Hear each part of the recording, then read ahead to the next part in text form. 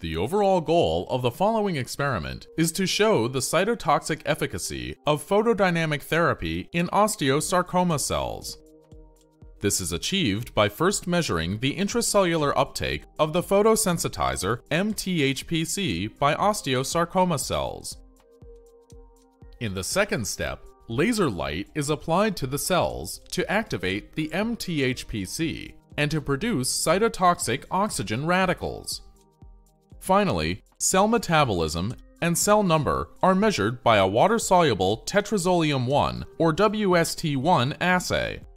Ultimately, the WST1 assay, as well as direct cell counting, can be used to measure the cytotoxicity of the photodynamic therapy on the osteosarcoma cells.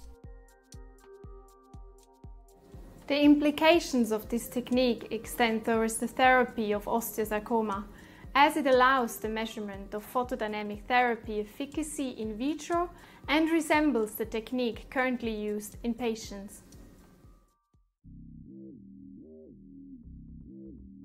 To compare the MTHPC uptake between osteosarcoma cell lines, begin by plating 0.2 times 10 to the 6th HOS and 143 B cells per well in triplicate in 6 well plates. Let the cells adhere overnight to an 80 to 90% confluency, and then, on the following day, incubate the cells with a fixed concentration of MTHPC for different time periods in the dark to evaluate the time-dependent uptake of the photosensitizer by the cells.